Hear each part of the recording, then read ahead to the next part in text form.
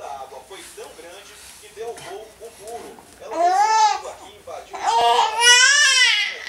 quebrou a senhora de 72 anos, a dona do salão, foi arrastada mais de 50 metros. Ela só parou lá no meio da rua. e Ela vai tombar pro lado.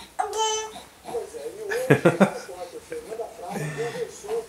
médico do SAMU que salvou a vida da menor que foi arrastada pelo churrasco.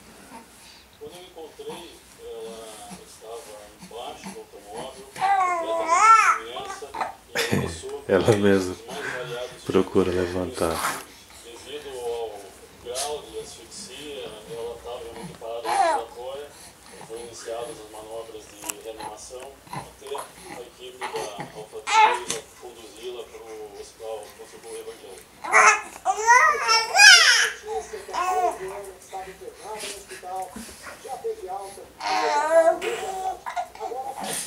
Devido